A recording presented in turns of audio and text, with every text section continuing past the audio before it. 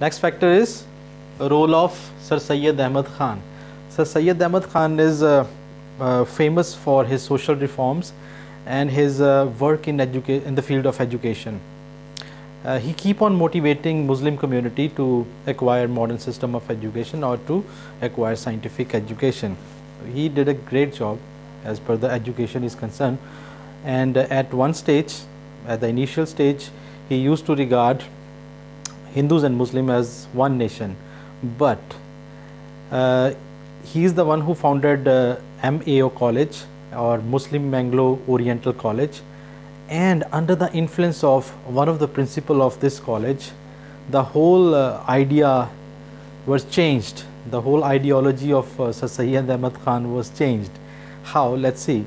So earlier he used to think uh, Hindus and Muslim as one nation but later on uh, under the influence of principal Beck he started thinking that both Hindus and Muslim are having different political interest according to your book it was said that Sir Syed Ahmad Khan believed that since the Hindus formed the majority of Indian population, they would dominate the Muslims in case of withdrawal of the British rule.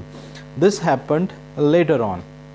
That the whole ideology of Sir Syed Khan, Sir Syed Ahmad Khan was changed afterwards when he come when sorry when he came under the influence of uh, Principal Beck. So he started thinking in this way that Hindus and uh, Muslims are having different political interest. They cannot live together. Basically, that is the idea. So he, moreover, he started infusing this idea amongst the Muslim also, right? But, but remember this thing. In the field of education, he did a great job.